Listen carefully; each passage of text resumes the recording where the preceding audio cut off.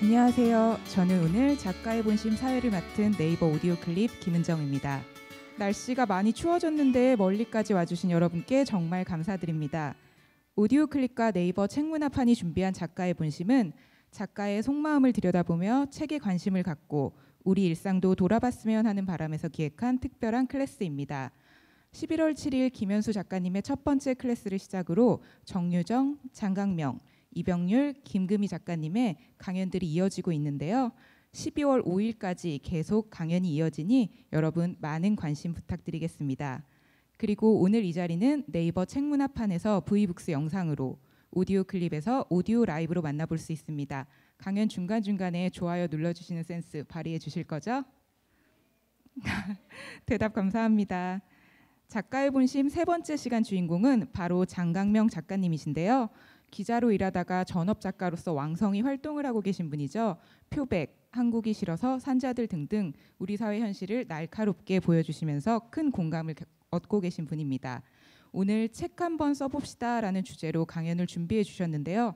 역사가 증명하듯 기록을 남기고자 하는 것은 인간의 본능이라고 생각을 합니다. 여러분들도 마음속에 자신이 쓴 시 한 편, 소설 한 단락 그리고 책관 건주 모두 가지고 있을 것 같은데요. 오늘 작가님께 책을 쓰는 꿀팁 배워보도록 하겠습니다. 그럼 장강명 작가님을 큰 박수로 맞이해 주시기 바랍니다.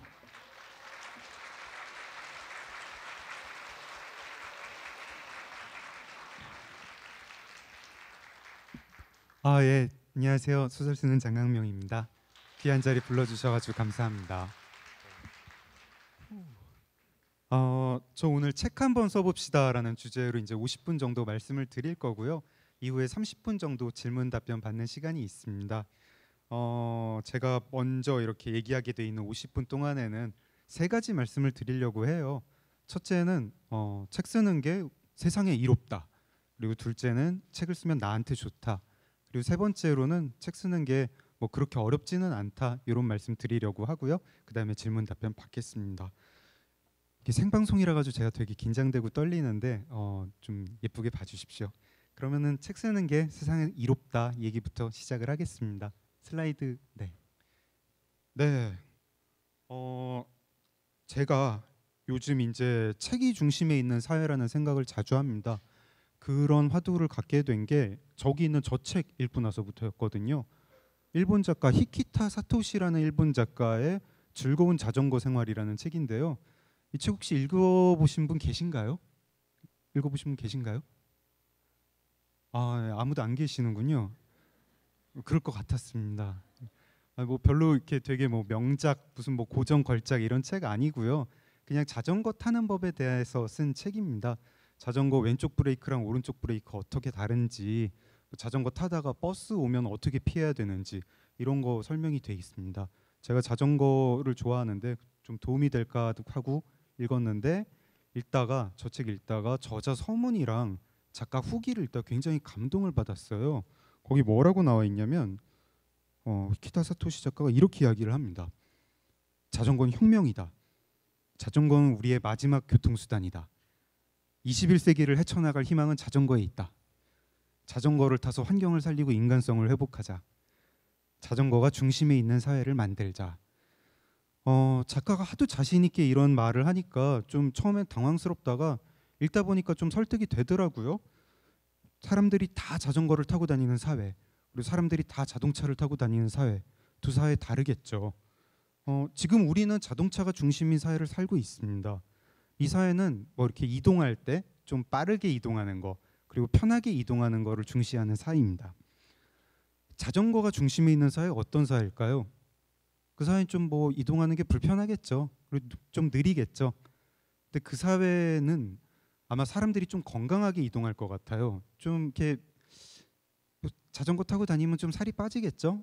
배기가스도 좀 적게 나오겠죠. 네. 그런 게 자전거가 중심에 있는 사회일 거고 제가 이 책 그 후기를 읽으면서 계속 자전거가 중심에 있는 사회는 어떤 사회일까 이런 생각을 하다가 이른 결론이 그 사회는 대도시가 없을 것 같아요. 자전거로 이동을 해야 되니까 자전거 타고 갈 수 있는 거리에 학교도 있어야 되고 회사도 있어야 되고 뭐 집도 다 그 거리에 있어야 될 거 아닙니까? 그러니까 그 사회는 대도시가 없을 거다. 도시 구조 자체가 자동차가 중심에 있는 사회랑 자전거가 중심에 있는 사회가 다를 것 같습니다. 자전거가 중심에 있는 사회 어떻습니까? 올 것 같습니까? 21세기가 자전거가 중심이 되는 사회가 될 것 같나요? 다 같이 이제 자전거가 중심에 있는 사회가 올 거라고 믿으면 오겠죠. 그리고 뭐 아유 그게 뭐 그런 사회 오겠나 하고 안 믿으면 안 오는 것이고 어떤 사람은 코웃음 치고 어떤 사람은 그 사회 온다 이렇게 믿으면 어떻게 될까요? 저는 그게 그게 사회 운동이라고 생각합니다. 이 히키타 사토시 작가가 자전거 타기 운동을 벌이고 있습니다. 그래서 저는 이제 자전거 얘기를 하려고 온 게 아니라 책 얘기를 하려고 왔잖아요. 책도 자전거랑 비슷합니다. 되게 느리고 불편한 매체입니다.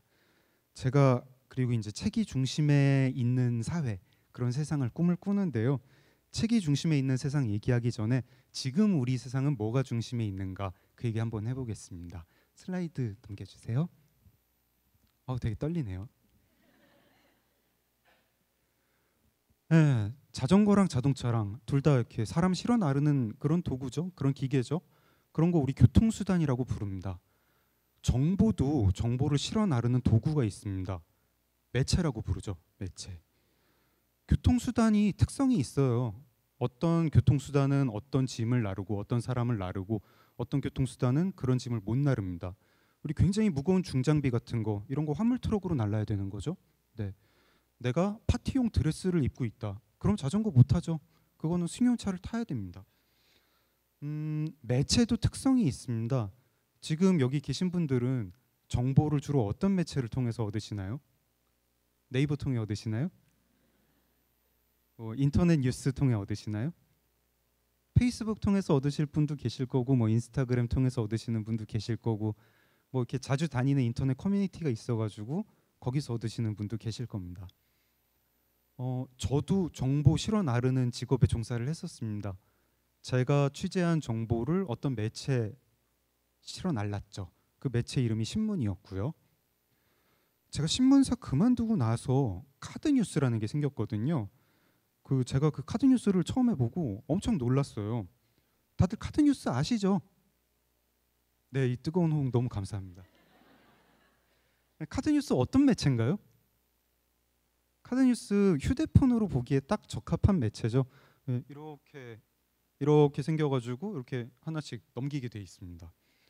사람들이 이제 모바일로 신문 기사를 보면 글자도 작고 보다 보면 눈이 아프니까 휴대폰으로 제일 편하게 볼 수 있게 만들자 해가지고 몇 년 전에 나왔죠. 보통 카드 뉴스 구성이 이렇습니다.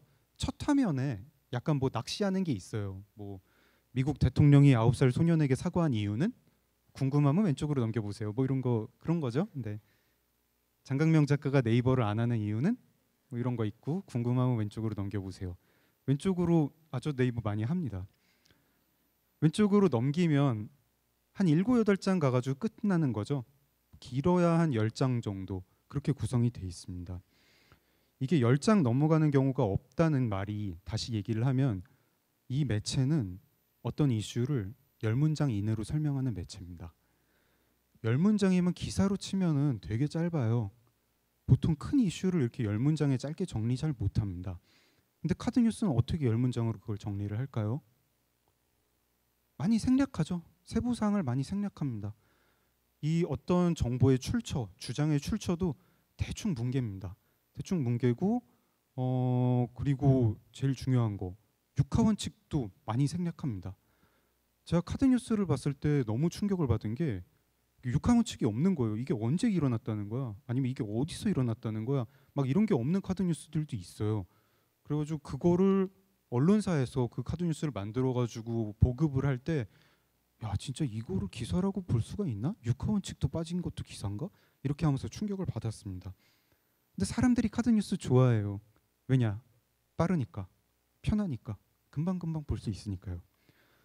요즘 아예 인공지능이 기사를 요약을 해주더라고요. 네이버에서 그 뉴스 요약봇 기능 쓰시는 분들 계신가요? 기사 위에 이렇게 있고요. 버튼 누르면은 기사 세 문장으로 요약해 줍니다. 기사 세 문장으로 요약하면 거기 뭐 세무, 세부 사항이 뭐 많이 담길까요? 굉장히 요약이 돼가지고 담기죠. 제가 매체마다 실을 수 있는 정보가 다르다. 매체도 특성이 있다 말씀을 드렸는데 카드뉴스, 인공지능 요약 기사 이런 매체는 육하 원칙, 출처, 세부상 그런 정보를 제대로 실어 나르지 못하는 매체입니다. 이 매체들이 제일 중요하게 생각하는 정보는 뭐냐면 결론이에요. 결론. 제일 처음에 도입부가 있고 그 다음에 결론이 있고 중간이 굉장히 빈약해요. 생각의 과정이라는 게 잘 없어요. 이 중에 인터넷 커뮤니티 게시판에서 뭐 글을 보면서 그걸로 정보 접하시는 분들도 많이 있으시겠죠. 어, 거기 게시판에 올라오는 글들은 어떻습니까? 거기 생각의 과정이 많이 담겨 있습니까? 거기 열 문장 넘어가는 그런 글 많이 올라오나요? 별로 그렇지는 않습니다. 어, 거기 오히려 긴 글 올리면 사람들이 화냅니다. 누가 요약 좀 뭐 이러고 댓글 달리고 그렇습니다. SNS는 어떻습니까? 트위터에 올릴 수 있는 글 140자죠. 140자. 페이스북이나 인스타그램에는 조금 더 긴 글 올릴 수는 있긴 한데 거기 열 문장 올라가 넘어가는 글 많이 올라오나요? 별로 그렇지 않아요. 네. 그 매체들이 다 결론에 집중하는 매체들입니다. 그리고 그 매체들의 결론만큼 중요한 또 다른 메시지가 있어요. 거기서 중요하게 생각하는 메시지는 뭐냐면 나 좀 퍼뜨려줘 하는 메시지입니다. 그 메시지가 생각의 과정보다 더 많이 담겨 있습니다. 공유 버튼 같은 거 있고 얼마나 공유됐는지도 숫자로 이렇게 보여줍니다. 어, 카드 뉴스, 페이스북, 인스타그램, 뭐 요약 기사들, 뭐 인터넷 게시판 글 이런 매체에 실리는 정보들, 이런 매체를요. 저는 거기 실리는 정보를 스낵 정보라고 부르고 그런 매체를 스낵 정보 매체라고 개인적으로 부르고 있습니다. 왜냐하면 스낵하고 비슷하거든요. 굉장히 얇고 바삭하죠. 한 입 먹으면 맛있습니다.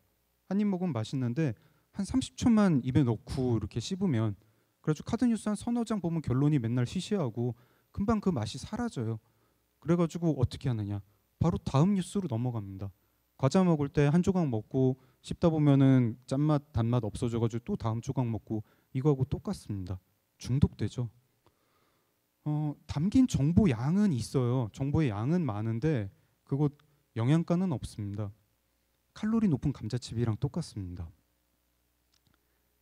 자야 되는데 다들 그런 경험 있지 않으세요? 침대에서 이렇게 휴대폰으로 아 이거 보다가 뭐 또 딴 거 보고 딴 거 보고 별 의미 없는데 계속 보다가 막 두세 시까지 잠 못 자고 그런 분들 계시죠? 아이 뜨거운 호응 감사합니다. 그렇습니다. 감자칩 먹는 거하고 비슷합니다. 배는 불러요. 영양가는 없어요. 그리고 속 되게 미스거려요. 막 이렇게 아, 머리 아프고 내가 이거 왜 했지? 후회하면서 잠들게 됩니다. 이런 스낵 정보 매체에는 어떤 정보는 절대 실리지 않습니다. 어떤 정보가 실리지 않느냐? 지식이라는 정보가 실리지 않습니다. 지혜라는 정보가 실리지 않고요. 사유라는 정보가 실리지 않습니다. 어떤 분들 이렇게 항변하실 수도 있을 것 같아요. 아니 그 그래 좋다 사유라는 정보를 조각조각 내 가지고 SNS에 옮기면 될 거 아니냐? 그럼 실면 그럼 실리는 거 아니냐? 이렇게 말씀하실 수도 있을 것 같은데 제가 굉장히 긴 사유가 담긴 책을 그럼 140자씩 쪼개 가지고 트위터나 뭐 페이스북에 올린다고 생각을 해 볼게요. 그럼 어떻게 될까요? 거기서 대부분의 그 140자짜리 조각들은 아무한테도 전달이 안 될 겁니다. 공유도 안 될 거고. 그리고 그 중에 제일 자극적이고 딱 봤을 때 뭔가 느낌 있어 보이는 거 그런 조각들만 굉장히 공유가 많이 되고 뭐 리트윗이 되건 뭐 좋아요를 많이 받건 그럴 겁니다. 그게 지식인가요? 그건 지식의 파편이고요. 그냥 좀 정확히 말하면 그냥 좋은 글귀예요. 좋은 글귀. 그건 지혜도 아니고 사, 사유도 아닙니다. 지식 지혜에는 체계가 있고 과정이 있습니다. 결론만 있는 건 지식이 아닙니다. 체계, 맥락, 과정 이런 게 담긴 정보를 접해야 사람이 변합니다. 그런 정보를 접할 때 자기를 둘러싼 거를 비판적으로 바라보게 되고 자기 자신에 대해서도 반성하게 됩니다. 이게 지식과 지혜가 스낵 정보와 다른 점입니다. 어, 이론 정보 어떻게 담아야 되죠? 지식이랑 지혜, 사유 이런 것들. 어떤 사람이 자기가 전하려는 어떤 굉장히 긴 정보가 있는데 이 정보는 체계도 있고 순서도 있다. 그 체계랑 순서를 바꾸지 않고 조각내지 않고 통째로 전하고 싶다. 근데 그게 굉장히 길어가지고 글자로 치니까 수십만 자 나온다. 인쇄를 했더니 A4 용지로도 한 수백 장 분량이다. 이거 전할 수 있는 매체 뭐가 있나요 지금? 뭐가 있나요? 어, 네 뜨거운 호응 너무 감사합니다. 책이죠, 책. 제가 어, 이렇게 말씀은 못 드릴 것 같아요. 모든 책에는 길고 복잡한 사유가 담겨 있다, 지혜가 있다. 그런 말씀은 못 드리죠. 안 그런 책도 많이 있습니다. 근데 거꾸로 길고 복잡한 사유를 담을 수 있는 매체, 지혜를 담을 수 있는 매체, 그 매체는 지금 현재 책뿐입니다. 저는 그렇게 믿고 있습니다. 어, 지금 우리가 사는 세상 어떻습니까? 그런 길고 복잡한 사유에서 가까워지고 있습니까? 멀어지고 있습니까? 아까 제가 말씀드린 스낵 정보 매체들이 점점 줄어들고 있나요? 점점 인기가 많아지고 있나요? 줄어들고 있습니다. 아, 네, 스낵 정보 매체는 많아지고 있습니다. 네, 어, 그 우리가 지금 스낵 정보가 중심이 되는 세상을 향해 점점 돌진하고 있습니다. 어떤 분들은 이렇게 말씀하시는 분들도 있으세요. 사람이 현대인이 하루에 읽는 글자 양이 얼마나 많은지 아느냐. 우리가 메신저로 보는 거, 뭐 SNS로 보는 거, 인터넷 접속해가지고 포털 사이트에서 보는 거 이거 다 합하면은 하루에 책한 번씩 읽는 셈이다. 우리가 옛날 사람들에 비해서 독서 양이 결코 부족하지 않다. 이런 말씀하시는 분들도 계시더라고요. 저는 정말 말도 안 되는 소리라고 생각합니다. 카카오톡 메시지를 몇 메가 분량을 읽으면 그게 독서하는 거하고 같을까요? 아닙니다. 감자칩 많이 먹었더니 식사 안 해도 된다 이런 얘기하고 똑같습니다. 저는 우리 사회가 어떤 그런 스낵 정보가 중심이 되는 사회가 아니라 지식, 지혜, 사유 이런 게 바탕이 되는 사회가 되기를 바라고 있고요. 아까 자전거가 중심이 되는 사회는 도시 구조가 지금이랑 다를 것 같다고 말씀을 드렸죠. 저는 이런 지식이 중심이 되는 사회, 책이 중심이 되는 사회는 지금 우리 사회랑 정치 구조, 뭐 사회 구조, 언론, 교육 이런 시스템들이 완전히 다를 것 같습니다. 그런 사회 오기를 바라고 있고요. 그런 사회에서는 정보가 지금처럼 빠르고 편하게 퍼지지는 않을 것 같아요. 근데 불편하고 느리게 퍼지지만 대신 그렇게 퍼지는 정보의 품질이 좋을 것 같습니다. 다음 슬라이드 볼게요. 네. 제가 책이 중심에 있는 사회라고 하면은 가끔 오해하시는 분들 계세요. 네, 제가 책이 중심에 있는 사회라고 하면 그게 고전을 많이 읽는 사회다 이렇게 생각하시는 분들 계시더라고요. 독서 토론 많이 하고 뭐 그런 사회가 책이 중심이 되는 사회 아니겠느냐? 어, 그런 거 아닙니다.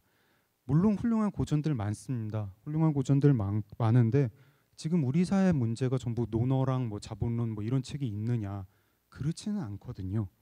그 책들 많이 읽으면은 우리 사회 문제가 해결되느냐 그것도 아닙니다.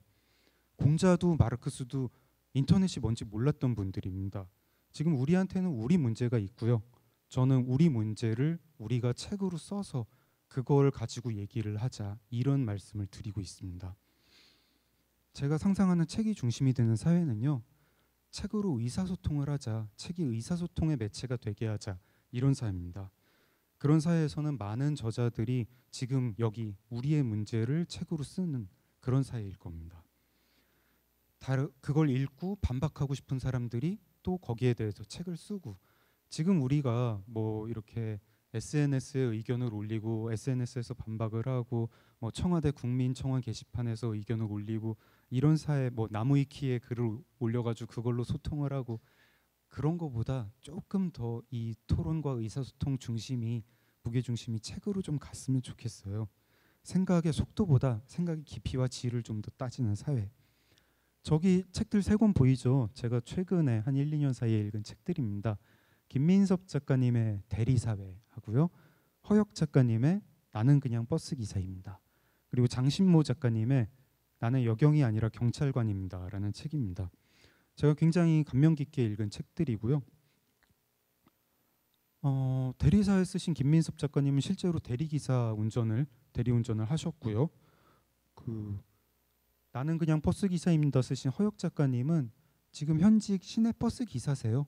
그리고 장신모 작가님 지금 현직 경찰관이십니다. 순경으로 이렇게 시작을 하셔가지고 지금 경감인가 그렇습니다. 어, 여기 계신 여러분들 다 버스 뭐 천 번 이상은 타보셨죠? 네, 천번 이상 타보셨을 거고 어떻습니까? 대한민국 버스 기사분들이 좀 뭐 친절합니까? 불친절하다고 생각하시나요? 친절하다고 생각하시나요? 저는 좀 불친절하다고 생각하거든요. 이렇게 버스 탔는데 이 버스 어디 가나요? 저 네이버 그린 팩토리 앞에 가나요? 하면 대꾸 안 하시는 기사분들이 그렇게 많으세요. 이렇게 묻다가 그냥 뭐 간다 안 간다 얘기를 안 하고 그냥 가시죠. 뭐 네. 다들 경험이 좀 있으신가 보네요. 근데 어, 그 버스 기사님들 왜 대꾸 안 하실까요? 왜 대답 안 하실까요? 그 이유는 혹시 알고 계신 분 계신가요? 저 책 읽어보면 나옵니다. 나는 그냥 버스 기사입니다에 이유가 굉장히 생각도 못한 이유가 나옵니다. 버스 기사님들이 자기 가는 버스 노선 정류장 이름은 아는데 그 외에 이 버스가 어디 가는지 잘 모르신다는 거예요. 생각해 보면 그렇겠죠. 자기는 운전만 하고 이 버스 어디 가는지는 모르는데 어디 가냐고 누가 물어보면 간다고 대답할 수도 없고 안 간다고 대답할 수도 없잖아요. 가나 안 가나 이렇게 좀 생각을 해야 되죠. 그러다 버스가 앞차 가면은 또 가야 되고 가든가 안 가든가 이렇게 된다는 겁니다. 몰랐죠. 저 저 책 읽기 전까지는 잘 몰랐습니다. 우리가 버스 기사님들 불편하다, 아 불친절하다 이렇게 불판, 불평 불만을 하는데 왜 불친절한지 잘 모릅니다. 왜 불친절한지 모르면은 그 불친절을 어떻게 개선해야 될지도 모릅니다. 제가 이제 여기 젊은 분들이 들으시면 조금 놀랄 얘기 한번 해볼게요. 제가 몇 년 전까지 수시 제도가 뭔지 잘 몰랐습니다. 지금도 조금 웃으시는 분들 계시네요. 제가 대학교에 가가지고 어 제가 몇 년 전까지 수시 제도가 뭔지 몰랐어요라고 대답 말씀을 드리면은 학생분들이 정말 어안이 벙벙한 표정을 지어요. 반응이 와 세상에 수시 제도가 뭔지 모르는 사람도 있네. 뭐 이런 반응이에요. 근데 제 친구들이 대부분 수시 제도가 뭔지 몰라요. 왜냐하면은 저희 때 수시 제도가 없었거든요. 저희가 대학 갈 때는 그리고 저희 제 친구들의 아들 딸들이 아직 수시제도 고민할 나이도 안 됐어요. 이제 초등학교 막 들어가는 나이라 가지고 그래서 의외로 대한민국의 40대 중반 특히 남자가 수시제도가 뭔지 잘 모릅니다. 그거 뭔지 정확히 설명 못 해요. 그런 사람들이 수시제도를 개선할 수가 없습니다. 지금 수시제도를 준비하는 고등학생들이 어떤 고민을 하고 있는가? 그 제도 준비하면서 어떤 스트레스를 받고 있는가? 그 제도 준비하면서 어떤 부조리를 느끼는가 이거를 모르는 사람들이 수시 제도를 개선할 수 있나요? 없습니다. 그 사람들한테 수시 제도가 고등학생들이 이런 부조리를 느끼고 있다고 말을 하려면 어떻게 해야 되나요? 고등학생, 대학생들이 책을 써야 됩니다. 그거 자기 SNS에 한 줄, 두 줄 불평 불만 터트리는 게 그 40대 중반 아저씨들한테까지 잘 전달이 안 됩니다. 책을 써서 이렇게 체계 있게 과정이 있게 이러저러해서 이러저러한 스트레스를 느끼고 이러저러하게 고쳤으면 좋겠습니다라고 얘기를 해야 그게 전달이 됩니다. 여기 저세 저자분들 어디 해외에서 유명한 뭐 명문 대학을 다녀오신 다음에 뭐 연구를 하셔가지고 연구 논문을 발표하고 학계에 인정을 받아가지고 그래서 쓰신 책이 아닙니다. 자기 근처에서 자기가 겪는 삶에 대해서 썼습니다. 근데 여기에 지식과 지혜가 담겨 있습니다. 지금 우리 사회에 이게 필요해요. 대리기사분들 어, 먼 데까지 운전자 운전하고 나서 집에 어떻게 돌아가실까요? 잘 모르시죠. 대리기사 대리운전 아무리 몇 번 불러도 잘 모릅니다. 그걸 모르는 상태로 대리운전 제도를 어떻게 개선하겠다 그거 쉽지 않습니다. 경찰관 분들이 제일 하기 싫어하는 일 뭘까요? 잘 모르시죠. 경찰관 이렇게 길거리에서 몇 번을 마주쳐도 경찰관들은 뭘 제일 싫어할까? 뭘 제일 힘들게 생각할까? 잘 모릅니다. 이거를 써야 됩니다. 자기 얘기를 쓰는 사람이 있어야 그게 전달이 됩니다. 어, 조금 이 얘기 한번 조금 더 깊게 가볼까요? 여기 계신 분들 중에 자기 부모님한테 평생에 걸쳐 일어났던 일 중에 부모님한테 제일 무서웠던 일, 제일 불행했던 일이 뭔지 안다. 이런 분 혹시 계신가요?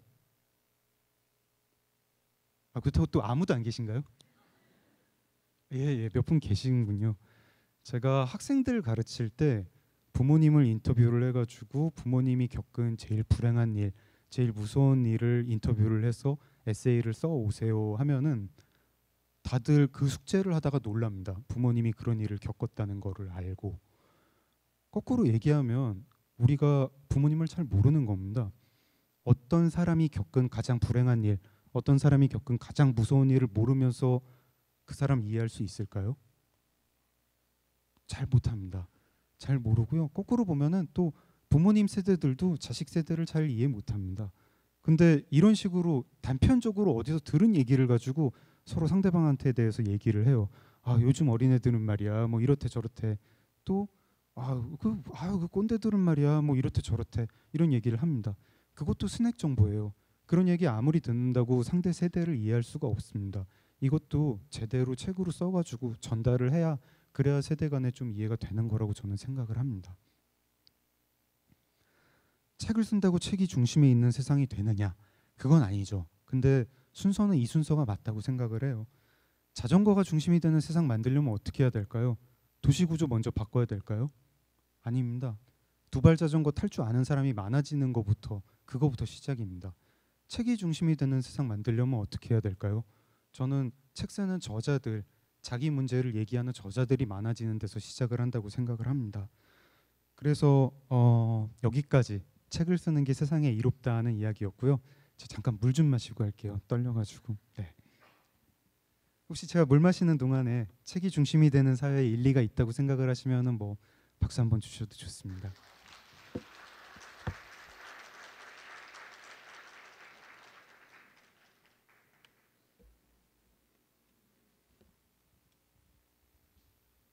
네, 이 뜨거운 호응 감사합니다.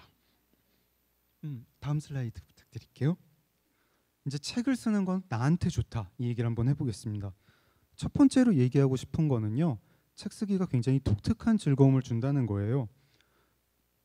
어, 사람이 살 수, 살면서 누릴 수 있는 즐거움 굉장히 다양하죠. 행복한 삶의 비결은 그 다양한 즐거움을 골고루 누리는 데 있다고 저는 생각을 합니다. 균형 잡힌 식사하고 비슷해요. 우리 먼저 여러 가지 몸의 기쁨을 좀 알아야 됩니다. 그리고 대인 관계에서 오는 기쁨도 누려야 되고요. 뭐 목표를 성취하는 데서 오는 기쁨 이런 것도 누려야 되고 어떤 집단 자기가 속한 집단에서 인정받는 기쁨 이런 것도 누려야 됩니다. 아름답고 감동적인 서사, 풍경 이런 거 보면 기분 좋잖아요. 그런 것도 누려야 됩니다. 다 많이 누리십시오. 근데 이 즐거움들이 서로 교환이 안 됩니다. 그 한 범주 안에 있는 즐거움도 있죠. 근데 다른 범주에 있는 즐거움도 있습니다. 운동 열심히 하면 몸의 기쁨 좀 느낄 수 있습니다. 몸 상쾌해지죠. 그리고 뭐 운동에 목표를 세워가지고 하면 성취감도 좀 느낄 수 있겠죠. 근데 운동 많이 한다고 외로움이 해결되지는 않아요. 그거는 별도로 해결을 해야 됩니다. 현대 사회에서 사람들한테 그런 즐거움의 솔루션을 많이 제공을 합니다.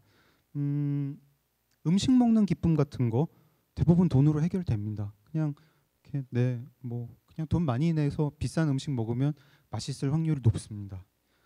아름답고 감동적인 걸 보고 듣는 데서 느끼는 즐거움 이것도 대충 돈으로 해결됩니다. 뭐 서점도 있고 극장도 있고 뭐 오페라 하우스도 있고 뭐 해외 여행 이런 것도 있고요. 인간관계는 좀 어렵죠. 인간관계는 뭐 돈으로 다 해결되는 건 아닌데 그래서 연구하시는 분들이 많아요. 뭐 의학계에서도 연구하고 뭐 교육학계에서도 연구하고 뇌과학계에서도 연구하고 심리학계에서도 연구하고 건축학자도 연구하고 뭐 이렇게 연구를 하고 있고 또 솔루션이 아예 없지는 않아 가지고 인터넷 동호회 같은 것도 있고 살롱 같은 것도 있고 뭐 심리 상담 이런 것도 있죠. 의외로 뭐 이렇게 큰 집단에서 오는 소속감, 뭐 어떤 영성을 느끼는 즐거움 이런 것도 현대 사회가 제공합니다. 뭐 교회를 가도 되고 축구 경기를 가도 되고 뭐 명상 센터도 있고요. 뭐 테크노 파티 이런 거 가도 약간 좀 뭐 그런 거 느끼죠. 다들 테크노 파티 안 가셔 안 가보셨군요. 네. 근데 현대 사회에서 유독 그 기쁨에 대해서 솔루션을 제공하지 않는 즐거움이 있습니다. 그 되게 근원적이고 본능적인 기쁨인데도 그래요. 참 이상한 건데 바로 창작의 기쁨입니다. 다음 슬라이드. 제가 창작이 본능이라고 하면은 어 조금 이렇게 어리둥절해 하실 분들도 계실 것 같아요. 저는 본능이라고 생각을 합니다. 어린아이들 이렇게 바닷가에 모래사장에 데리고 가면은 거기서 막 모래성 쌓습니다. 딱히 뭐 모래성 쌓는다고 무슨 보상을 주는 것도 아닌데 열심히 쌓아요. 그게 재밌으니까 쌓는 거예요. 1990년대에 이제 가정용 게임기들이 보급이 됩니다. 그러니까 그 전문가들이 이런 얘기를 합니다. 레고는 끝났다. 레고는 이제 더 팔리지 않을 거다. 근데 그 예측 완전히 반대가 됐습니다. 레고가 그 이후로 더 많이 팔립니다. 아이들이 레고를 좋아해요. 뭘 그 블록을 가지고 뭘 만드는 걸 좋아해요. 그리고 뭐가 완성된 게 있어도 그 레고로 만들 수 있는 딱 한 가지 매뉴얼이 있어도 그거 만든 다음에 얼른 부수고 새로운 거 만드는 걸 좋아합니다. 이거 뭔가 본능입니다. 근데 참 이상한 게 나이가 들면 들수록 그런 창작의 즐거움을 누릴 기회가 적어집니다. 어른이 되면 사실상 사라져요. 학교가 학생들한테 뭔가 새로운 거 만들어내는 그런 기쁨 가르치는 곳인가요? 아닙니다. 뭐 정해진 거를 훌륭하게 완성도 있게 수행하라고 가르치는 곳입니다. 그 정해진 경로에 따라 가지고 짜인 틀을 잘 가게 가르치는 곳입니다. 예술 전공이 아닌 학생들은 뭐 국어 시간, 뭐 미술 시간, 음악 시간에 정말 수박 겉핥기로 창작하는 거 약간 배울 정도입니다. 어, 성인한테 그런 창작의 즐거움 가르치는 곳이 거의 없어요. 악기 가르치는 곳 많죠. 뭐 색소폰 가르치는 곳도 있고 기타 가르치는 곳도 있고 피아노 가르치는 곳도 있고 어떤 어른이 성인이 나 퇴근 시간에 악기 배워 기타 배워 하면은 사람들 다 이렇게 이상하게 생각하지 않습니다. 멋있다고 생각합니다. 오. 근데 어떤 그 똑같은 사람이 난 취미가 작곡이야. 작곡을 배워. 이러면 다들 저, 저, 뭐 작곡을 어디서 뭐, 왜 배우지? 막 이런 생각해요. 작곡 가르치는 것도 잘, 잘 없어요. 그 기타 학원 많은데 작곡 학원 이런 거 없습니다. 대학에 실용음악과 가야 됩니다. 다 큰 어른이 뭔가 창작하겠다고 하면은 창작하겠다고 하면 사람들이 되게 이상하게 보고 신기하게 보는 게 현대 사회입니다. 글쓰기 가르치는 곳 어떨까요? 굉장히 전문적인 곳 있죠. 뭐 대학의 문예창작학과 같은 곳 아니면은 굉장히 초보적인 곳들이 있습니다. 구청의 글쓰기 교실 그 사이가 없어요. 어 그리고 문예창작과든 글쓰기 교실이든 간에 등록할 때 주변 눈치 되게 보게 됩니다. 막 오 글써 오 작가 되는 거야 막 이러면서 주변 사람들이 막 되게 신기하게 생각하기 때문에 작가 꿈꾸시는 분들이 대부분 몰래 쓰죠. 저도 그랬습니다. 예. 막 제가 회사에서 한번 소설 쓰다 들켰거든요. 근데 그거를 본 선배가 오 강명아 너 소설 써? 뭐 제목 뭐야? 막 이러는데 정말 얼굴 빨개져가지고 막 난감했던 기억이 납니다. 그나마 몰래 쓰는 분들 다행이고요. 대부분 포기하죠. 예. 되게 슬픈 일입니다. 창작의 즐거움이 다른 먹는 즐거움 이런 거에 비해서 크기에 한계가 없다는 특징이 있습니다. 몇 달씩 몇 년씩 준비한 글 완성하는 날 얼마나 기쁜지 모릅니다. 제가 첫 책 초고를 완성을 하니까 한 보름 정도 이렇게 구름 위를 걸어 다니는 것 같더라고요. 누구한테 물어볼 필요가 없어요. 정말 대단한 일입니다. 초고 맞췄을 때만 기분이 좋으냐? 아닙니다. 어, 책 한 권 쓰면서 그런 성취감 꾸준히 느낍니다. 뭐 잘 안 풀리던 대목 마무리하면 너무 좋고 어떤 대목 끙끙 앓다가 거기 해결책 나오면은 무슨 퍼즐 해결한 것 같이 그렇게 기분이 좋습니다. 근데 이거보다 더 큰 기쁨이 하나 있는데요. 다음 슬라이드에서 말씀을 드릴게요. 네. 사람이 본능적인 욕구를 못 채우면은 몸이 신호를 보내거든요. 오랫동안 못 먹으면 어떻게 됩니까? 배도 아프고 머리도 어지럽습니다. 뭐 배설, 화장실 가는 거 오래 참으면 어떻습니까? 방광이 아프죠. 그리고 뭐 다른 사람이랑 즐거운 대화를 해야 되는데 그걸 몇 달씩 못 한다. 그럼 어떻게 될까요? 몸에서 옥시토신이라고 하는 호르몬이 분비가 안 돼가지고 굉장히 정서가 어둡게 됩니다. 재미있는 영화 보다가 누가 갑자기 컴퓨터 끄면은 갑자기 화나죠. 이거 다 본능이에요. 그러면 창작의 기쁨도 그것도 본능인데 그것도 본능인데 이거를 오랫동안 막으면 어떻게 될까요? 저는 현대 사회에서 만연한 어떤 공허감, 허무감 이게 창작하는 기쁨을 우리가 못 누리기 때문에 비롯됐다고 생각을 합니다. 사람이 누구나 다 그 감각이 필요해요. 내가 지금 뭔가 의미 있는 걸 만들어내고 있다. 이 감각이 필요합니다. 근데 현대 사회에서 직업에서 그걸 누리기가 쉽지 않잖아요. 하도 세분화된 사회니까 부품처럼 어떤 맡겨진 일을 딱 그 일만 하게 됩니다. 그럼 그 일들이 되게 작고 하찮아 보이기 때문에 그 일을 하면서 아, 내가 지금 되게 하찮은 일을 하는 것 같아 이런 생각을 하고 그 생각 오래 하다 보면은 나 되게 하찮은 인간인 것 같아 그런 생각에 빠지게 됩니다. 거기서부터 뭔가 삶이 공허한 것 같고 허무한 것 같고 나 뭐 좀 의미 있는 일 하고 싶어.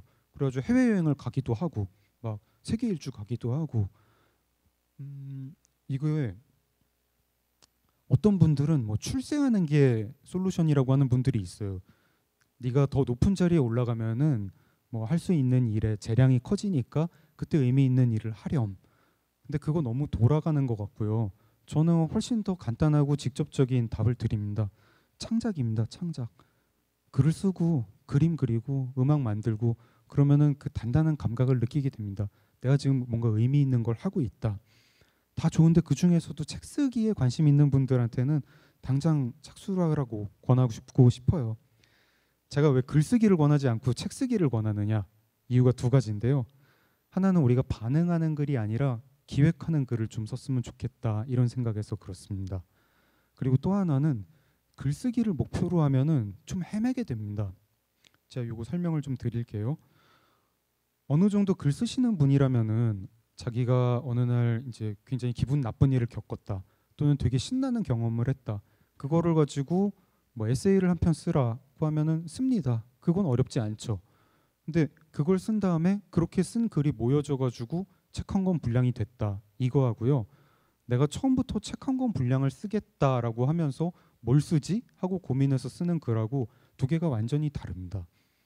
내가 뭘 써야 되지, 뭘 쓰지 이런 기획을 하면서부터 나는 어떤 인간이지까지 생각을 하게 됩니다. 그런 기획을 하는 그런 훈련을 해야 되고요. 내가 글을 쓰겠다고 생각을 하면은 목적지가 어딘지 잘 알 수가 없어요. 글 뭐 이렇게 짧은 글 한 편만 써도 그거 목표를 달성한 셈이기도 하고 거꾸로 몇 년씩 써도 그게 목표를 달성했는지 잘 모르겠기도 하고 그러면은 그렇게 쓰다 보면은 내가 지금 뭘 쓰고 있나? 내가 지금 뭐 하는 건가? 이거 써서 뭐 하나? 이런 생각에 자주 빠져들게 됩니다. 그냥 처음부터 내가 한 주제로 원고지 600매 쓰겠다, 1000매 쓰겠다 이런 목표를 가지고 하면은 굉장히 헤맬 우려도 없고 다 쓴 다음에도 성취감이 옵니다. 이게 굉장히 개인적인 작업이잖아요. 또 독립적인 작업이고요.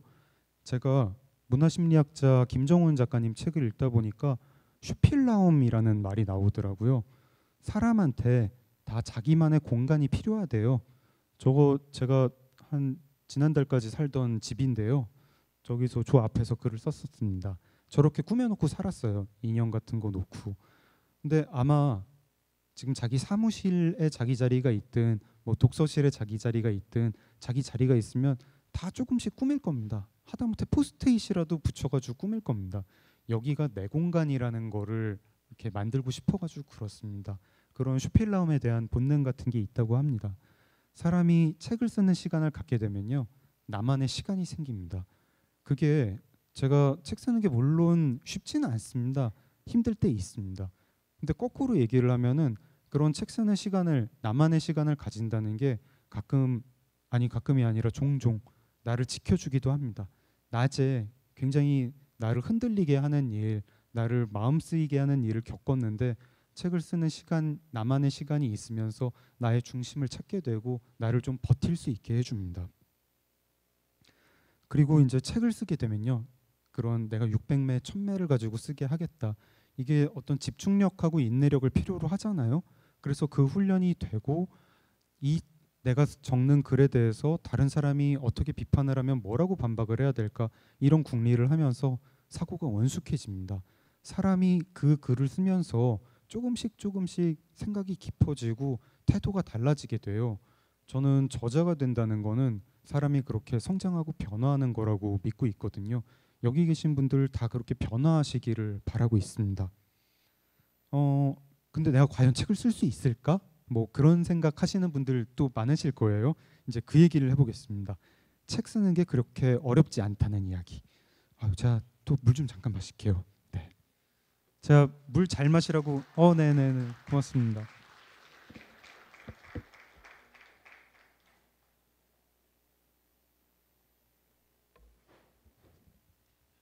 책이 중심이 되는 사회보다 물 마신다고 하니까 박수가 더 많이 나오는 것 같네요. 네, 솔직히 책 쓰는 게 그렇게 어렵지 않다라고 제가 말씀을 드리면은 좀 안 믿기시죠? 야, 너는 작가니까 그런 얘기 하는 거 아니냐 이렇게 생각하실 것 같은데, 어, 저도 처음에는 어, 내가 과연 책을 쓸 수 있을까 이런 생각 많이 했습니다. 그리고 제가 지금 어떻게 말씀을 드려도 그 의구심이 사라지진 않을 거예요. 이거는 자기가 직접 책을 써봐야 그래야 사라지는 의구심이겠죠. 실제로 해보기 전까지는 알 수가 없습니다. 지금 여기서 이제 어떤 책을 읽고요. 어떤 책 읽고 아 나는 이 책 이런 책 정말 못 쓰겠다. 이건 정말 난 도저히 쓸 수가 없구나 하고 좌절하거나 절망감 느낀 그런 경험 해보신 분들 계신가요? 네, 이 뜨거운 호응 감사합니다. 어, 저는 많이 했습니다. 많이 했고 지금도 많이 합니다. 어떤 책 읽고 나서 와 이건 진짜 난 진짜 죽었다 깨도 못 쓰겠다. 정말 부럽다. 그런 생각합니다. 그럼 제가 그 자리에서 주저앉아가지고 절필할까요? 그렇진 않죠. 저는 또 저대로 저만 쓸 수 있는 책이 있습니다. 세상에 책이 종류가 많잖아요. 그 중에서 제가 쓸 수 있는 책이 있고 쓸 수 없는 책이 있는 겁니다. 책 안에 문학책이 있고 문학책 안에 소설이 있고 소설책 안에 추리소설책이 있고 추리소설책 안에 사회파 추리소설책이 있고 사회파 추리소설책 안에 뭐 현대가 배경인 게 있고 뭐 몇십 년 전이 배경인 게 있고 그 안에 또 뭐 장편 소설이 있겠고 소설집이 있겠고 그렇겠죠. 어 사회파 추리 소설 잘 쓰시는 분한테 연애 소설 한 편 써보세요 이러면은 그래서 그분이 연애 소설 쓰겠다고 달려들면 잘 쓸까요 못 쓸까요? 뭐 가끔 막 장르를 안 가리고 다 잘 쓰시는 분도 계신데 제가 보기에는 대개는 작가분들이 자기 전문 분야에 있는 것 같아요. 에세이 잘 쓰시는 분도 있고 논픽션 잘 쓰시는 분도 있고 여러분 마라톤 잘하는 사람이 마라톤 프로 마라토너가 농구 잘할 것 같습니까? 아, 좀 아닐 것 같죠. 야구 잘하시는 분들, 야구 선수한테 지금 뭐 이렇게 뭐 이렇게 메이저리그에 있는 야구 선수한테 42.19 뛰어보세요 하면은 기록 얼마나 나올까요? 42.19 완주할까요? 야구 선수분들 중에 보면 이렇게 막 배 나온 분도 좀 계시고 한데 어, 그거하고 비슷합니다. 그러니까 자기가 잘 쓸 수 있는 책이 있고요. 그걸 쓰면 됩니다. 제가 지금 말씀드리는 이런 내용을 근데 우리나라 교육 시스템에서 정확히 정반대되는 얘기를 하고 있습니다. 학교에서 작문 시간 그때 뭐 기억나시나요? 그때 어떤 글 쓰게 하나요? 주로 짧은 에세이랑 동시 쓰게 합니다. 그리고 그거 결과 보고 나서 어 너 참 글 잘 쓰는구나. 그리고 어떤 학생한테는 아우 너는 이제 그냥 공부를 열심히 해야겠다. 뭐 이렇게 얘기를 해주십니다. 그럼 그 말을 믿고 아 나는 글쓰기에 소질이 없구나 이렇게 생각을 합니다. 꼭 이런 거 같죠. 100m 달리기를 시켜 놓은 다음에 그게 기록이 안 좋은 아이한테 야 너는 운동을 하면 안 되겠다. 공부를 열심히 해야겠다. 그렇게 얘기하는 거하고 비슷합니다. 근데 그 아이가 역도를 잘할 수도 있고 양궁을 잘할 수도 있습니다. 100m 뛰기, 뭐 이렇게 축구하기 그런 걸로 알 수가 없어요. 그 아이가 나중에 골프를 잘할지 양궁을 잘할지 두루두루 해봐야 됩니다. 짧은 에세이 못 써도 논픽션 굉장히 잘 쓸 수 있고 동시 못 써도 장편 소설, 대하 소설 잘 쓸 수도 있습니다. 근데 어, 이 사람들이 지레 짐작해가지고 아 나는 글 못 쓴다, 나는 글쓰기에 소질이 없다 이렇게 지레 짐작을 많이 합니다.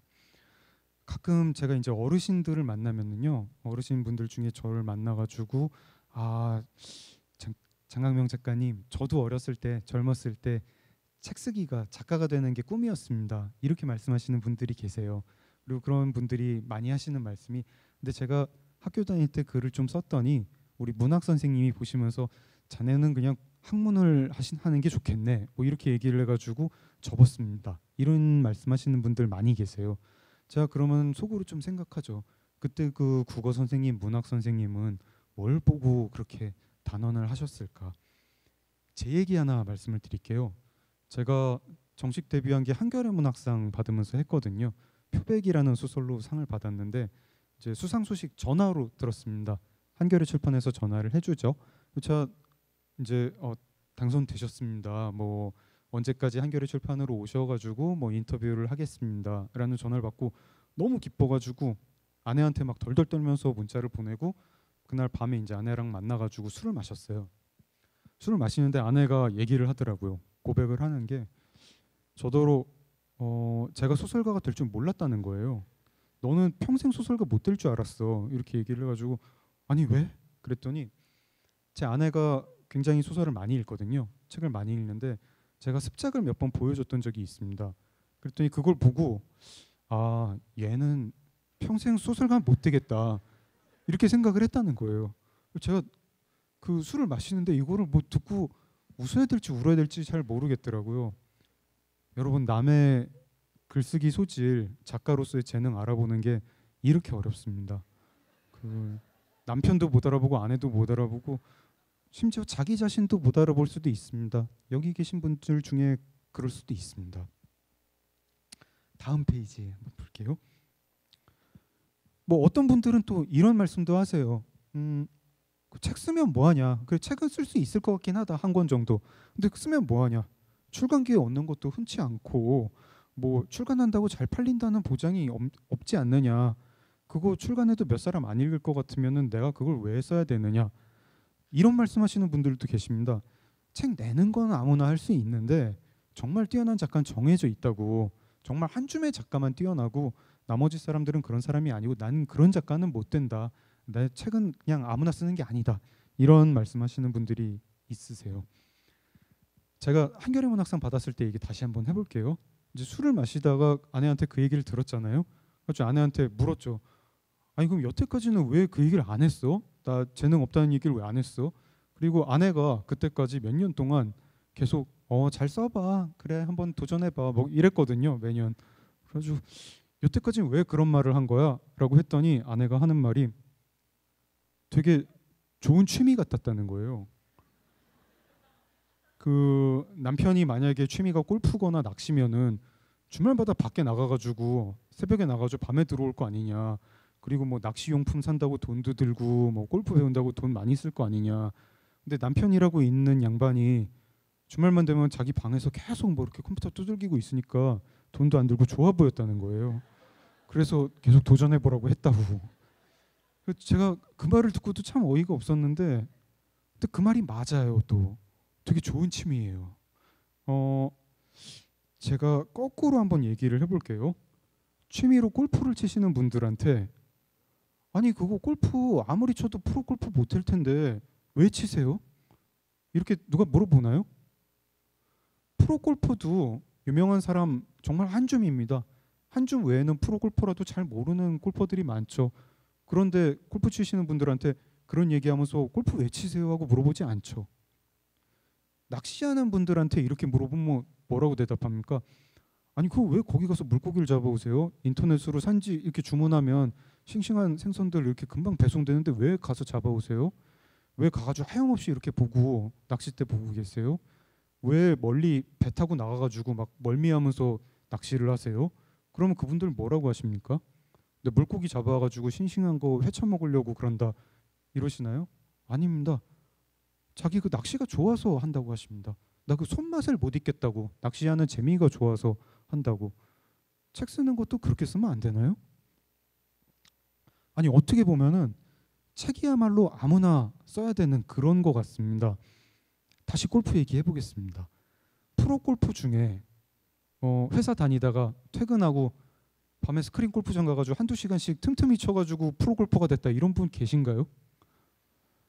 어릴 때부터 영재 교육을 받아가지고 10년 동안 해서 프로 골퍼가 되는 겁니다. 바둑 어떻습니까? 바둑 나 틈틈이 인터넷 바둑 열심히 뒀더니 어느 날 바둑 입단했다 이런 분들 계신가요? 미생 보시면 다 아시잖아요. 되게 어릴 때부터 한국 기원 들어가 가지고 10년 동안 피나는 노력을 합니다. 악기 어떻습니까? 내가 취미로 바이올린을 시작했는데 퇴근하고 한두 시간 했더니 그렇게 한 3년 했더니 어느 교향악단에서 들어오래. 본 적도 없죠. 본 적도. 근데 책은 내가 퇴근해서 한 한두 시간씩 밤에 썼더니 출간했어. 상도 받았어. 그 책 베스트셀러 됐어. 이런 분들이 있어요. 어, 그냥 있는 게 아니라 많습니다. 저도 그 중에 한 사람이고요. 퇴근해서 한두 시간씩 쓰다가 프로 작가가 됐습니다.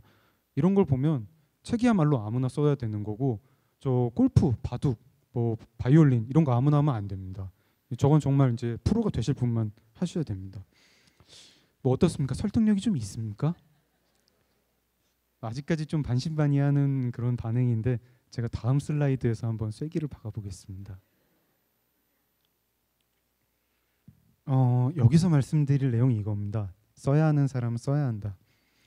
아까 어르신들 중에 저를 만나가지고 어, 저도 젊었을 때 꿈이 작가였습니다. 이렇게 말씀하시는 분들 계시다고 제가 말씀을 드렸잖아요. 어, 제가 처음에 그런 말씀을 들을 때에는 저한테 하는 덕담인 줄 알았어요. 아, 나도 젊었을 때 작가였는데 이렇게 작가를 만나니까 반갑네요. 뭐 이런 얘기인 줄 알았는데 나중에 좀 듣다 보니까 그런 말씀 하도 많이 듣다 보니까 그게 아닌 걸 알겠더라고요. 그분들이 저한테 하시는 말씀이 아니에요. 자기 자신한테 하는 얘기예요. 제가 어렸을 때 꿈이 과학자였거든요. 그리고 지금 가끔 과학자분들 만납니다. 무슨 뭐 행사나 뭐 이렇게 뭐 텔레비전이나 뭐 이런 데서 만나면은 그분들 만나가지고 제가 제가 어렸을 때 꿈이 과학자였습니다. 이런 얘기 안 합니다. 어렸을 때 꿈이 과학자였던 거 자체를 거의 잊어버렸어요. 그리고 아 맞다, 나 어렸을 때 꿈 과학자였지. 뭐 이렇게 생각하는 정도입니다. 근데 저한테 오셔가지고 제가 젊었을 때 꿈이 작가였는데 이러저러 해가지고 포기했어요라고 말씀하시는 분들은 왜 그 말씀을 하시는 걸까요? 아직까지 그게 미련이 있어가지고 말씀을 하시는 겁니다. 그분들이 고등학교 때 문학 선생님이 그만두라고 했던 그 이후로 30년, 40년 동안 그걸 못 잊은 거예요. 그 미련을 가지고 살아오신 거예요. 그리고 제 생각에는 그분들이 앞으로 10년, 20년 뒤에도 계속 그 미련 못 잊어요. 어떻게 보면은 평생에 걸쳐서 내가 이런 꿈이 있는데 책을 한 권 내고 싶은데라는 미련을 짊어지고 그 평생을 살게 됩니다. 음, 그런 분들이 또 특징이 뭐냐면은 서점이나 도서관 가가지고 화를 많이 내세요. 아니 이것 이런 책도 이것도 책이라고 나왔어? 막 이러면서 이런 건 나도 쓰겠다. 이런 건 나오면 안 돼. 막 이러면서 화를 내시고 또 아는 사람이 책을 내잖아요. 그럼 또 되게 막 경계해요. 막잘 썼나? 막 이러면서 잘 썼으면 어떡하지? 막 이러면서 경계하고 그러는데 저는 서점이나 도서관 가가지고 화 낼까요? 제가 작가로 데뷔하기 전에는 화를 많이 냈어요. 저도 아 이런 것도 책이라고 나왔냐 진짜. 근데 데뷔하고 나니까 그 다음에 화 안 내죠. 그냥 아유 이 책 되게 시시하네. 그러고 그냥 말아버립니다. 이제 저는 미련이 없어요. 제가 그런 어르신들 말씀 들을 때 밖으로는 못하고 속으로만 하는 생각이 있습니다. 그냥 그냥 젊었을 때 쓰시지. 그냥 하시는 일 하시면서 밤에 한두 시간만 쓰시지. 책 한 권 몇백 쪽 하나요? 한 300쪽 정도 하죠. 하루에 만약에 한 쪽씩 쓰면은 그래가지고 1년 동안 쓰면은 365쪽짜리 책을 쓸 수 있습니다. 뭐 가끔 안 쓰는 날도 있겠죠. 뭐 그리고 뭐 이제 쓰고 나서 퇴고도 해야겠고. 그럼 쉬엄쉬엄 2년에 한 권은 쓸 수 있지 않을까요? 이틀에 한 쪽씩 그거 못 쓸까요? 3년에 한 권씩 쓸 수 있지 않을까요? 네. 그게 책 한 권 쓰는데 그렇게 10년, 20년씩 걸릴 일이 아니에요. 책 쓴다고 하면은 되게 어려워 보이지만 그렇게까지 어려운 일은 아닙니다. 그리고 어떤 미련을 20년, 30년씩 품고 있는 것보다는 어, 그냥 쓰는 게 낫지 않을까요? 세상에 사람이 두 종류가 있는 것 같아요. 글을 써야 되는 사람이랑 안 써도 괜찮은 사람.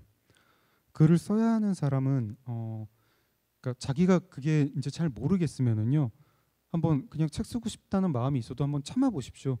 어떤 내가 어떤 상황을 봤는데 글로 되게 멋지게 묘사를 하고 싶다. 이 마음도 참아보고 꾹 참고 내가 서점에 가서 이상한 책이 나와가지고 화가 나는데도 그냥 그 마음도 꾹 참고 누가 아는 사람이 책을 내도 샘나는 마음 한번 꾹 참아 보십시오. 그래서 꾹 참아가지고 해결되면은 아 나는 책 안 써도 되는 사람이구나 이렇게 넘기면 되는 거고 그럼에도 불구하고 반사적으로 나 아는 사람이 책을 쓰면 샘이 나고 이상한 책 보면 화가 나면 그냥 그런 분들은 책을 써야 되는 분들인 겁니다. 책 써야 되는 분들 어떻게 해야 될까요? 뭐 어떻게 합니까? 써야죠. 어, 책 써야 하는 사람 써야 한다고 생각을 합니다. 제가 여기에 화장실 로고를 갖고 왔죠. 세상에 참아서 해결이 되는 일이 있고요. 참아도 해결이 안 되는 일이 있습니다. 지금 여기 계시는 분들 중에 이 또 네이버 라이브 오디오 클립 라이브 보시는 분들 중에 내가 지금 책 한 권 쓰고 싶다 이런 마음이 있는데 그 마음이 어제나 그제 든 게 아니라 한 재작년부터 그 마음이 있었다. 10년 전에도 그 마음이 있었다. 10년 동안 그 마음이 계속 오고 있다. 이러면은 아마 내년에도 그 마음이 계속 갈 것이고 내후년에도 그 마음이 계속 갈 것이고 10년 뒤, 20년 뒤에도 그 마음이 계속 갈 겁니다. 그 마음을 가지고 계속 미련을 갖고 사느니 쓰는 게 낫습니다. 제가 어 이런 강연 하고 나서요. 뭐 이렇게 이따 사인회를 하잖아요.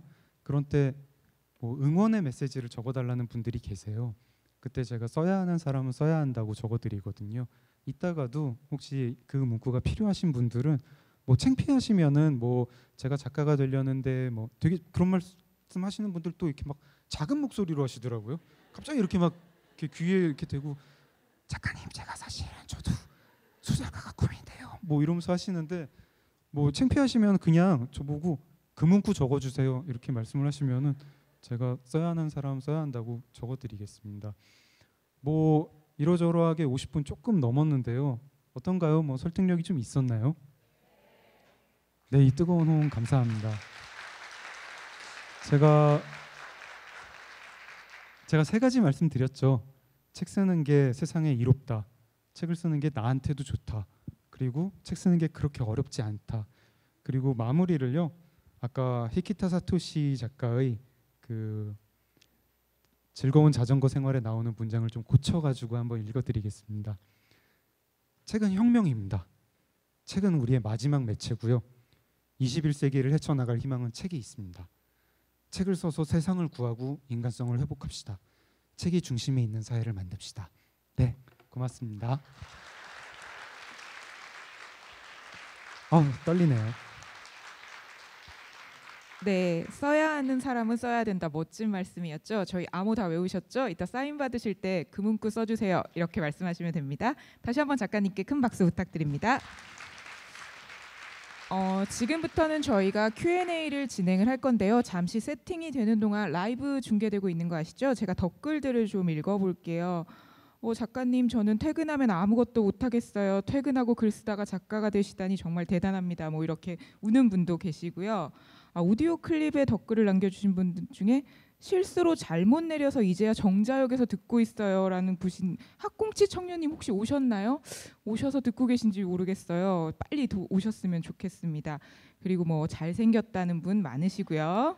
사랑한다는 고백도 많이 있습니다. 자 무대가 어느 정도 세팅이 된 것 같으니까요. 저희 Q&A 진행을 해보도록 하겠습니다. 작가님 안쪽으로 오시죠.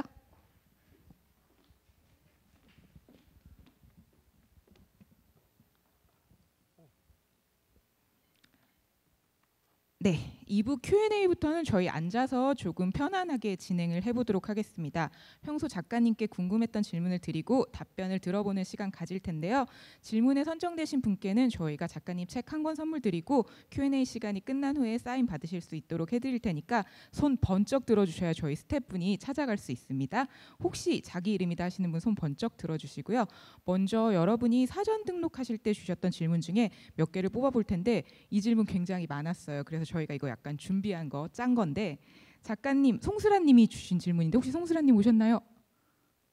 아, 어이구, 네, 뭐 그럴 수도 있습니다. 하지만 이거 화면으로 보실 수 있으니까요. 작가님 작업하실 때 기록한다는 엑셀 파일 스크린샷 한 번만 보여주시면 안 되나요? 너무 궁금해서 딱 한 번 보고 싶습니다.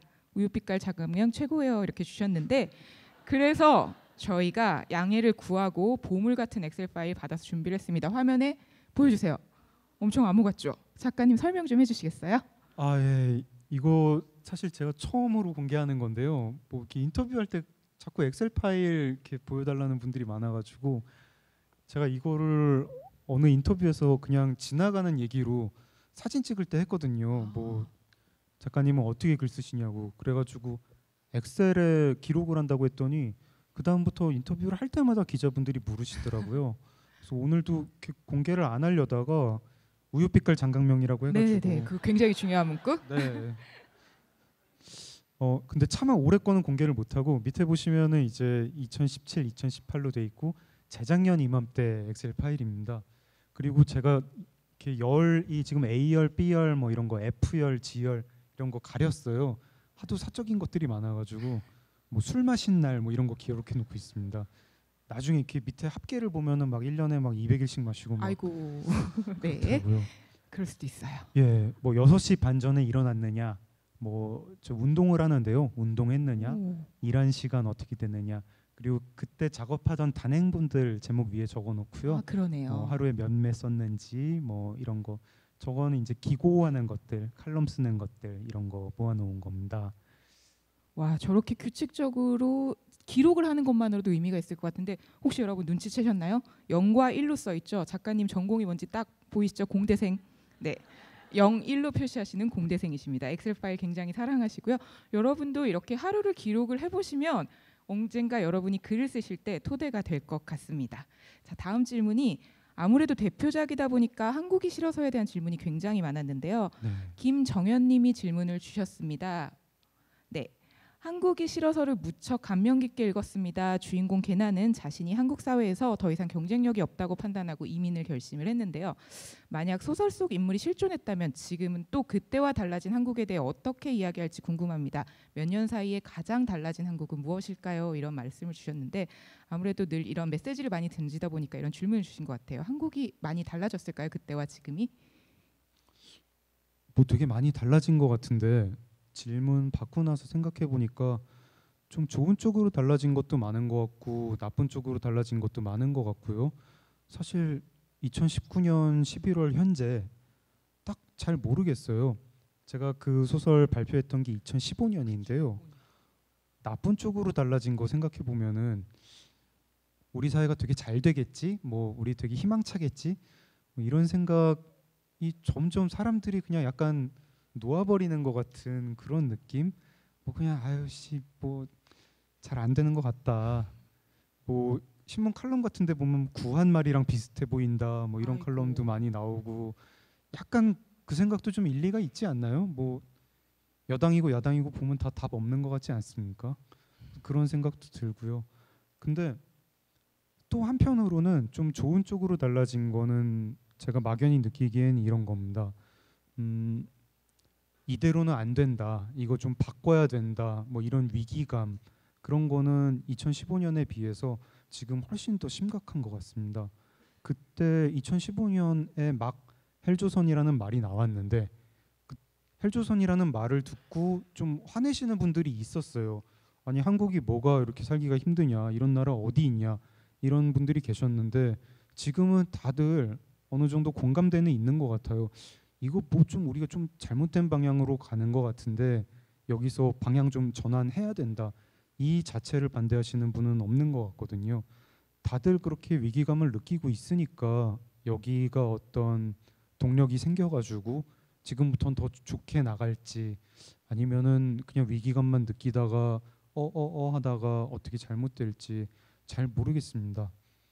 저는 아까 그 히키타 사토시 작가 그런 태도를 그런 태도를 갖고 싶은데요. 미래라는 게 전망하는 게 아니고 우리가 만들어가는 겁니다. 여러 가지 운동을 해가지고 좋은 쪽으로 바꾸고 싶습니다. 네, 좀 허무주의에 빠져 있지만 어쨌든 저희가 위기감을 모두 가지고 있고 인간의 본능이잖아요. 그래도 이걸 극복하고자 하는 것 구한말에서도 벗어났듯이 그런 극복이 있었으면 좋겠고 조금 분위기가 무거워진 것 같아서 재밌는 질문을 윤지훈님이 주셨는데요. 혹시 계시면 손 한번 번쩍 들어주시고요. 한국이 싫어서 저도 굉장히 재밌게 읽었는데요. 작가님은 이민 간다면 어디로 가고 싶으신가요? 라고 질문을 주셨습니다. 아 저는 이민 안 가고 계속 한국에 살고 오. 싶습니다. 한국이 싫어서를 쓴 작가님이지만 한국에 계속 살겠다. 저 그리고 한국 되게 좋아해요. 한국 뭐 문제점도 많은데 음, 가능성 많은 나라라고 생각하고요. 어 그리고 저는 또 한국어로 소설을 써야 되니까 이렇게 예, 이민 갈 수 없죠.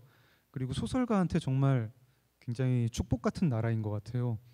한국에서 소설 쓰는 분들은 소재 걱정할 일이 없을 것 같아요. 그냥 일주일만 지켜봐도 소재거리가 막 무수히 쏟아지고 음, 이민은 조금 그런데요. 네. 뭐한 두 달 정도 어디서 살 수 있다 이러면은 되게 한국이랑 좀 제가 생각할 때 정반대인 나라, 굉장히 조용하고 사람 없는 나라에 가가지고 뭐 캐나다의 무슨 숲속 같은데 뭐 옆집이랑 거리가 100km쯤 되는데 100km. 그런 데서 한 두 달 정도 뉴질랜드 뭐 알래스카 이런 데서 좀 살다 오고 싶은 그런 마음은 있습니다. 네. 작가에게 한국이 소재가 많은 나라다. 맞는 것 같아요. 저도 어릴 때 아빠가 왜 그렇게 매일 뉴스를 보는지 이해를 못했는데 이 뉴스가 정말 제일 재밌더라고요. 네, 조영준님의 질문을 마지막으로 사전 질문을 받아볼 텐데요. 이 질문도 사실은 조영준님 질문을 저희가 선정을 하긴 했지만 가장 많은 질문 중에 하나였어요. 장강명 작가님 소설을 좋아하는 작가 지망생입니다. 작가 지망생이라면 반드시 읽어야 할 단 한 권의 책을 고른다면 무엇인지 궁금합니다. 이렇게 말씀을 주셨는데요. 단 한 권의 책. 아, 뭐 그런 책 없겠죠. 그런 책 없을 텐데. 근데 이렇게 책 추천 질문이 정말 많았어요. 한 권만 추천해 주세요. 이런 질문들이. 예, 제가 한 권 추천해 드립니다. 어, 저 바버라 에보크롬비라는 작가의 멘토라는 별명이 있는 작가가 있거든요. 어, 그분이 쓴 작가의 시작이라는 책이 있는데요. 그 책 권해 드립니다. 이 책 되게 짧은 무슨 이렇게 조언들이 여러 개 있는 책이에요. 근데 그 조언들이 뭐 대단한 건 아니고요. 조언들이 다 이런 식이에요. 첫 번째 조언 뭐 당장 써라. 뭐 그런 그런 것들. 뭐 책을 쓰다가 흔들릴 때는 어떻게 해야 되나요? 굽히지 말고 써라. 뭐, 뭐 이런 그리고 뭐 책을 쓰다가 뭐 이 책 내용이 나가면 가족이랑 사이가 안 좋아질 것 같다. 어떻게 해야 되나요? 가족 따위 신경 쓰지 말고 써라. 뭐 막 그런 조언이 가득한데 읽으면 하도 이제 확신에 차가지고 무조건 써라, 당장 써라 막 이런 말이 있기 때문에 읽다 보면 되게 기운이 납니다. 저는 가끔 이제 피곤할 때 읽고 있고요. 어, 권합니다. 그, 당, 그 되게 당연한 말인데 읽다 보면 기운이 나고 네 전자책도 있습니다. 네, 다 메모하셨죠? 네, 그럼 여기 오신 분들의 반응을 좀 더 이끌어내기 위해 저희 이제 포스트잇에 많이 질문을 남겨주셨는데 현장 질문 한번 해보도록 하겠습니다. 역시 손 번쩍 들어주시면 책 드릴 거고요. 오, 질문지가 진짜 많은데 작가님 보시고 하나 골라주세요. 저도 지금 몇 개 눈여겨본 게 있는데 제가 하나 먼저 뽑아볼까요? 그럼? 네. 사실 제가 아까 댓글을 보면서 작가님 강의가 너무 감동적이었다는 아마 제자분들이신가 봐요. 대학교에서 들은 강의 중에 작가님 강의가 제일 좋아요. 뭐 이런 댓글들이 많이 제자분들 혹시 동원하신 건 네. 네. 장방초 님이 질문을 주셨는데요. 아까 저희가 허무주의 얘기를 하기도 했었었잖아요. 현재 꿈이 없는 나태한 대학생에게 촌철살인 한마디 부탁드립니다라고 말씀을 주셨습니다. 대학생분들에게 힘이 될 만한 한마디 좀 해주실 수 있으실까요? 혹시 아시는 분일까요? 어 아니 모르는 분인데요. 장방춘님 여기 어, 계신가요? 네. 저기 계시네요. 아 네네. 아 근데 뭐 꿈이 없다고 뭐 나태하다고 생각도 안 되고요. 저는 뭐 굳이 또 뭐 대학생한테 막 이렇게 촌철살인 굳이 뭐 날리고 싶지도 않고 저는 제가 다닌 학교 근처에 가면 좀 아쉬운 게 되게 제가 학교 다닐 때는 밤이면 밤마다 학생들이 술에 취해가지고 막 되게 즐겁 고 보였는데 요즘 잘 안 그러더라고요. 그래서 그게 좀 아쉽기도 하고 이런 것 같습니다. 저한테 가끔 뭐 조언을 해달라면서 꿈이 없어서 큰일인데 어떻게 해야 됩니까? 이런 분들 계시는데 저는 이렇게 얘기를 합니다. 꿈이라는 게 좀 친구하고 같은 것 같아요. 있으면 분명히 좋습니다. 꿈이 있어야 좋습니다. 친구가 있는 삶처럼. 근데 우리가 어떤 친구 사귈 때요. 막 학교 이제 새학년 시작하면 모르는 아이한테 가가지고 야 난 빨리 친구를 사귀고 싶어 너랑 친구가 될래 이러면서 사귀나요? 그러지 않죠. 일단 어울려 봅니다. 어울리다 보면은 마음 맞는 동급생이 있어요. 그리고 마음 맞는 동급생이랑 계속 이제 시간 나누고 뭐 이러다 보면은 걔가 어느샌가 친구가 돼 있습니다. 저는 그래서 지금 뭐 꿈이 없다고 되게 조바심을 가진 그런 대학생 분이 있다면은요. 이것저것 여러 가지 일들을 한번 해보시길 바랍니다. 이것도 해보고 저것도 해보고 그러다 보면은 마음 맞는 일이 생깁니다. 어, 난 이 일을 할 때 내가 영혼도 편해지고 재미도 있다. 그러면은 그게 꿈입니다. 그게 친구고요. 그러면은 그 꿈이랑 같이 평생을 우정을 쌓으면서 가는 거고 내가 힘들 때 그 꿈이 나를 도와줍니다. 힘내 이러면서 뭐 그런 거 아닐까? 꿈이 없다고 막 초조해할 건 아닌 것 같아요. 네, 촌철 살인은 아니고 뭐 그냥 그렇습니다. 오, 멋진 말씀이네요. 저희가 어릴 때부터 장래희망을 하도 적도로 강요를 받다 보니까 이제 꿈이 꼭 있어야 될 것 같은데 꿈이 친구처럼 자연스럽게 생길 수도 있다는 말씀 정말 네. 멋진 말씀인 것 같아요. 작가님 또 보시고 마음에 드신 질문 있으면 어, 다들 꼼꼼하게 정말 글씨도 예쁘게 잘 쓰시네요. 저는 이런 거 있을 때 글씨를 못 써서 남길 수 있을까 약간 망설여지기도 하는데 아우 저는 이렇게 뭔가 정성을 이렇게 어, 글자 양이 맞아요. 많은 것부터 해야 될 그래 것 같습니다. 너무 예쁘시다 글씨도. 어 이거 저 아, 네이버 아이디 OOYYRR 천사 아 이런 거 막 밝히면 안 되는 거죠. 아 개인 정보일까요? 그런가요? 저희가 아, 나중에 편집해서 올릴 땐 지워보도록 하겠습니다. 네. 현재 출판 시장을 보면 유명한 사람, 기성 작가, 셀럽들의 책은 책의 내용과 관계없이 베스트셀러에 오르고 일반인, 직장인, 무명 작가의 책은 안 팔리는데 유명해지고 나서 책을 써야 될까요? 아니면 아무도 알아주지 않아도 개인 출판을 해야 될까요? 어, 소설 같은 문학이 아닌 논픽션, 비문학 글에 대해서 아, 이거 정말 날카로운 지적이고요. 한국 출판 생태계가 지금 약간 좀 그렇게 좀 뭔가 좀 이상합니다. 뭔가 왜곡이 돼 있고요. 유명한 사람이 쓴 글이 팔리는 거고 좋은 글이 잘 독자한테 전달이 안 되고 있죠. 뭐 드라마에 PPL이 나오거나 아니면 굉장히 뭐 유명한 분이 자기 SNS에 뭐 이렇게 올리면 그 책이 막 베스트셀러가 되고 어 그 현실은 지금 좀 다 같이 바꿔가야 되고 저는 어떤 이건 사실 개인이 할 일은 아닙니다. 저는 독자들의 문예 운동이라는 거를 생각을 하고 있는데 당선 합격 계급이라는 논픽션에서 그 얘기를 조금 자세히 해보기도 했습니다.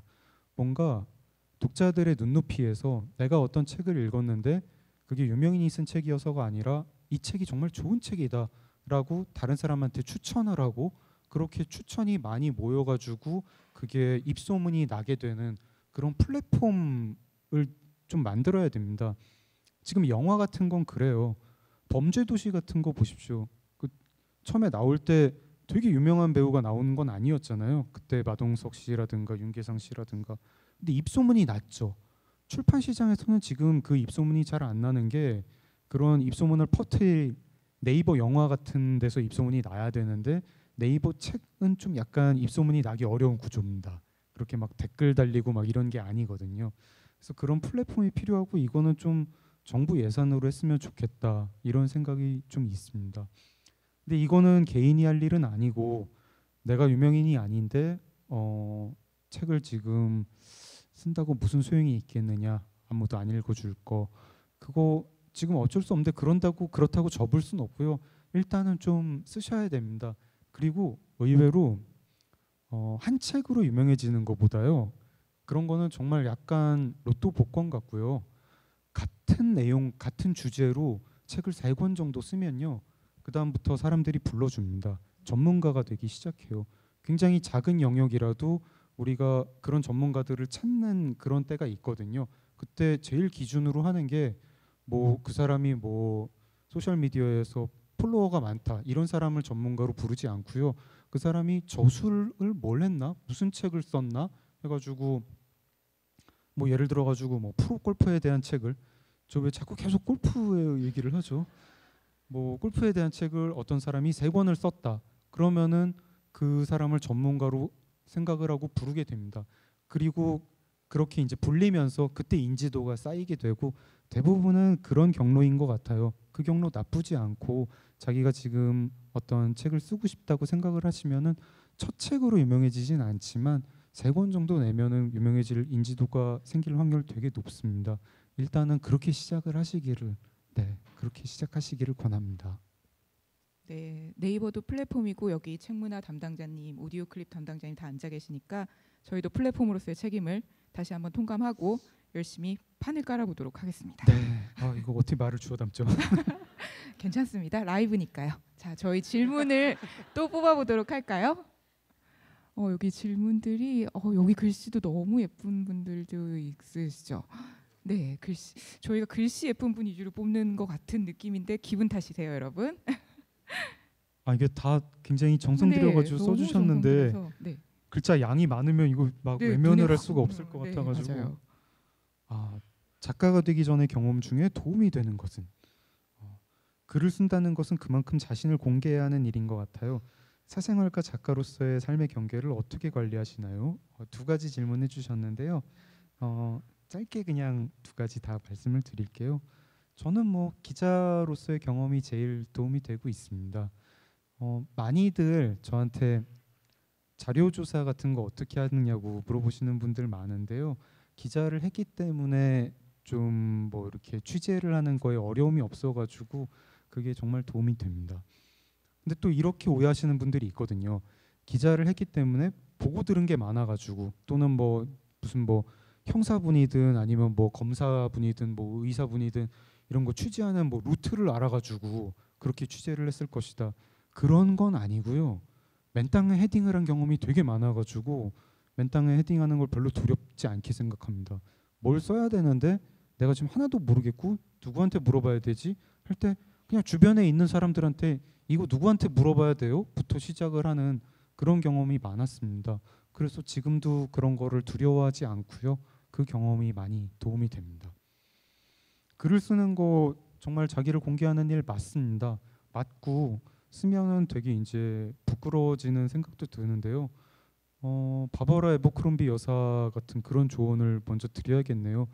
별 수 있나요? 쓰세요. 그래도 써야죠. 그리고 막 쓰다 보면은 어, 부끄러운 게 문제가 아니라 아, 뭐 좀 더 팔아먹을 거 없나? 나의 경험 중에 뭐 내가 제일 부끄러운 일이 제일 남들도 재밌어할 일이잖아요. 그런 거 뭐 없나? 막 이런 거 찾게 됩니다. 이게 거꾸로 보면은요 동전의 양면 같아요. 글을 써가지고 부끄럽다. 내가 글을 쓰면 쓸수록 나를 공개하는 것 같은 기분이 든다. 분명히 맞고요. 그 반대쪽 진실은 이렇습니다.